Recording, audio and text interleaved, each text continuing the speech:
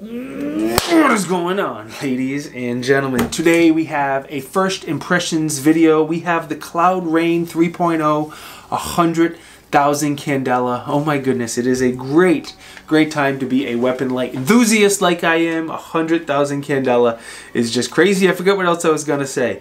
Um, like, like we do all lights, I'm to start with the lumens and the Candela first, and then we'll go into the other things, because especially with this light, the lumens and the Candela rating are silly. So you have 1,250 lumens. Good, plenty. I like it, dig it. Awesome. Candela, you have a 100,000 Candela. This is a Candela monster. It is, uh, it's just amazing. So lumens, how much light comes out of the flashlight. Candela is how that light is directed. The higher the candela, tighter the beam, tighter the beam, the further it throws, but there's more to it than that. I always hate when people say, why do I need my light to shoot 200 yards or something? I don't care. It's too bright in the house. I'm going to shine it off a wall. Anyway, um, the high candela number not also shines the light further, but it also goes through different photonic barriers. So if you're shooting and there's fog or smoke, and when you do shoot, especially outdoors, um, that and even indoors too, I shouldn't just say just outdoors, um, that smoke from the gun is enough to stop a low candela light from going through. More realistic is if someone's shining a light back at you, a higher candela light will shine push and shine through that light to blind the bad guy so you can see and not die because I've never died, but I think it sucks. When we get to the beam comparison, you're going to see this thing is a laser beam, and Cloud designed the uh, head and the reflector in a way where you get a really tight hotspot for shooting out far, but you still get a really, really good spill. Uh, some companies, when you get super high candela, the closer up beam is just terrible. That's not the case. This has one of the best up close beams and one of the best beams at distance, and it's one of the most durable lights. I'm getting off track. But that's all I got to say about that. The specs I told you was with the included 18650, but this thing is now dual fuel, which means you can run it on 18650 or two CR123s. CR123s are not as powerful. You do lose some lumens in Candela, but in a pinch, it's better than not having any wet light.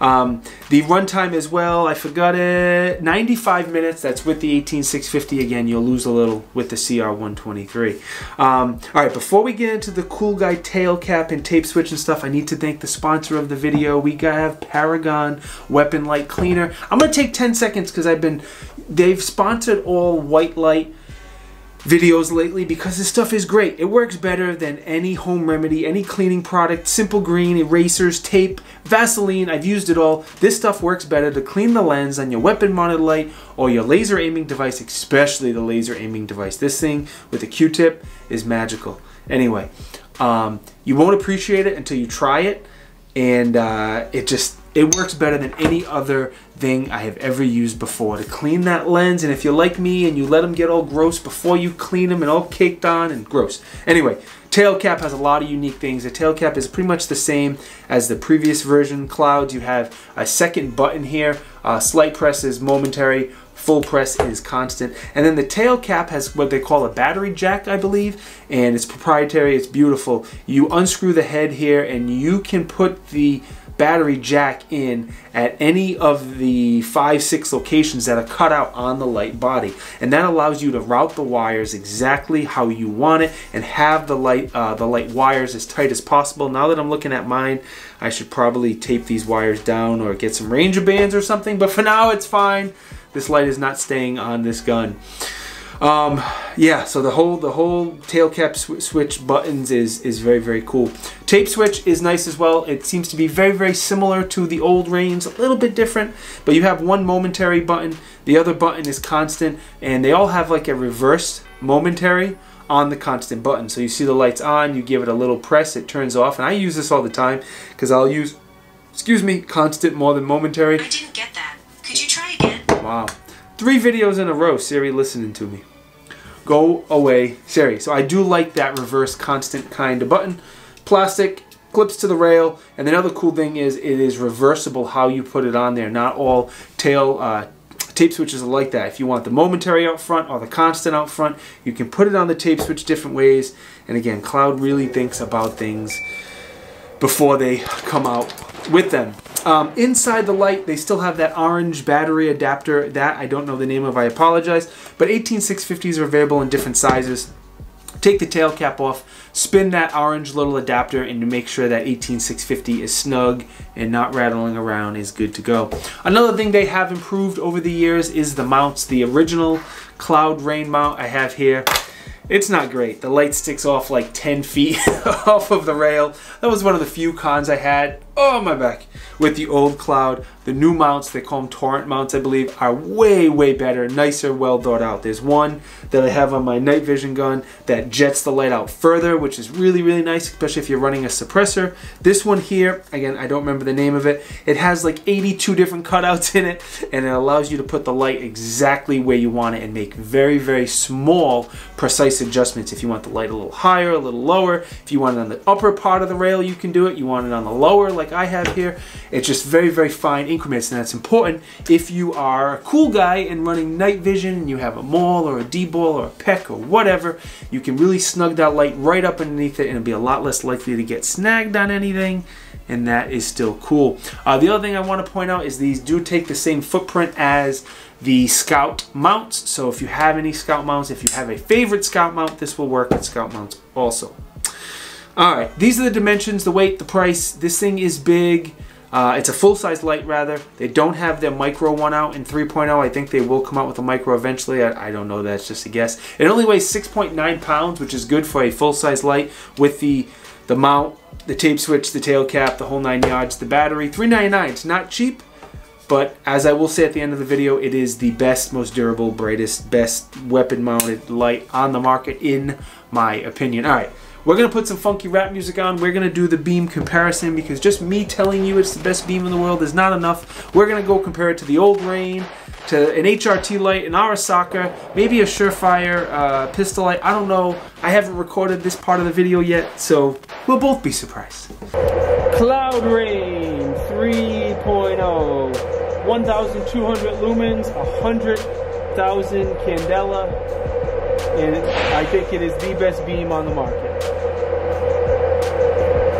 HRT AWLS. It has 1,700 lumens and 90,000 candela.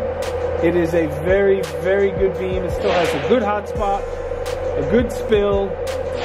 The, the cloud looks a little bit brighter, even though technically it's not. It's just the way the cloud was designed. It just looks a little better. All right, this is a Streamlight with 2,000 lumens. And I brought this one out to show you the difference between a high candela light and a low candela light. So this is the highest lumens out of all three of them by far. But it only has like, I don't know, 20,000 lumens or so. So it's a wall of light. So indoors it's not so, so bad, but there is... Say it again? 20,000 candela, 7 lumens. Oh, well, 20,000 candela and 2,000 lumens. Thank you. The last one I have is a is a pistol light. It is the Surefire uh, X300 Turbo, and it, I know it's a pistol light, but the beam is so nice. I wanted to compare it. Uh, it is 66,000 candela, I believe, and only 650 lumens. So it goes to show you how important candela is, uh, having a good balance of both lumens and candela. Huh. Pretty good. There's one more on the car. 50 Cloud Rein. And then 100.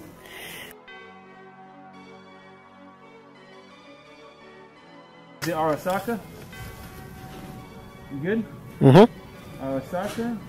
The hotspot on this is bigger. And less of a flood. Arisaka at 25. Uh, 50, excuse me a bigger hotspot and less of a flood. And then 100. As we say up here in the Northeast, that beam is wicked awesome.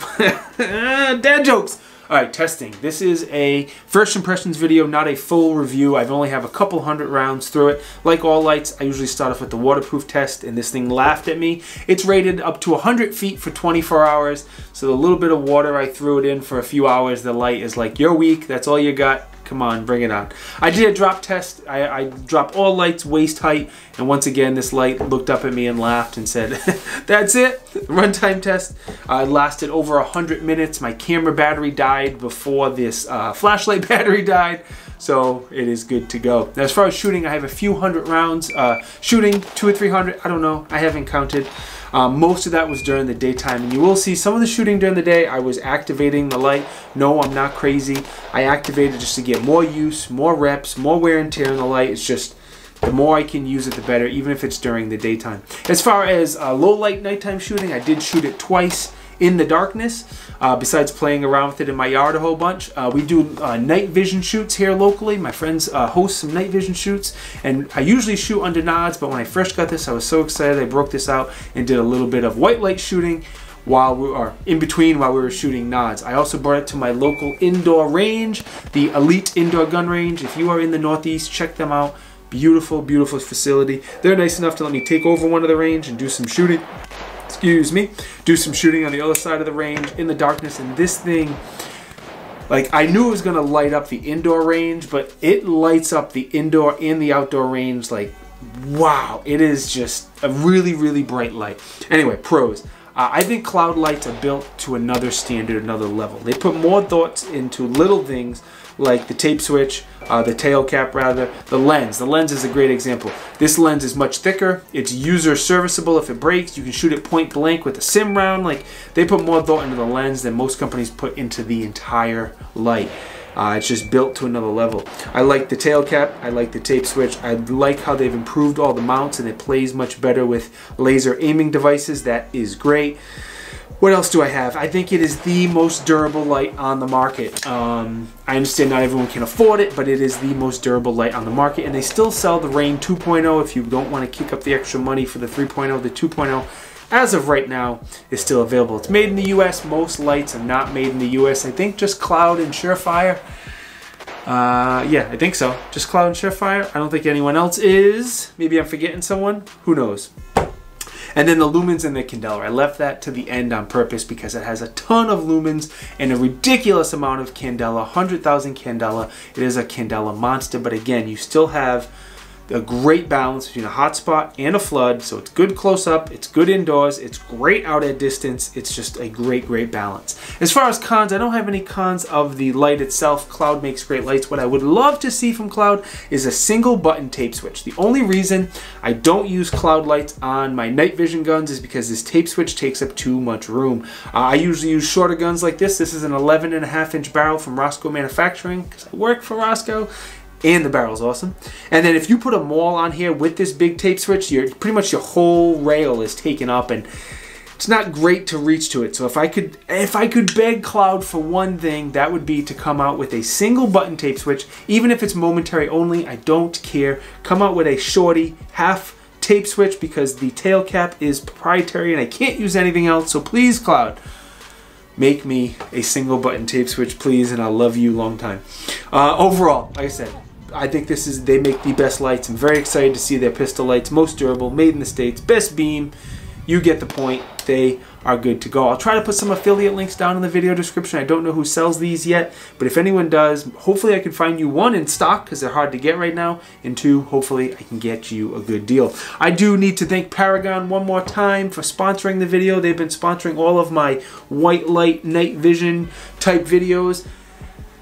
You're not going to appreciate the product unless you try it, unfortunately. If you're local to me, meet up and I'll clean all your lights for you because this stuff works really, really well. Everybody who's used it will say that stuff is legit. It works better than anything else. What else I got for you? I have a second YouTube channel, YouTube Shorts, 10 to 60 second videos, not long and drawn out like this. The link is down there if you want to give it a follow. We have swag. If you want to support the channel, this is the best way to do so. Look extra cool in a Tiberious shirt or rock a Tiberious patch and I will love you long time. I can't believe I said that in a video. Most important, thank you for watching. It is truly appreciated. If you think I deserve it, like, comment, subscribe, enable the bell notification if you choose to do any of those things. Again, I appreciate it and I'll love you long time. I'll see you guys next time. Peace.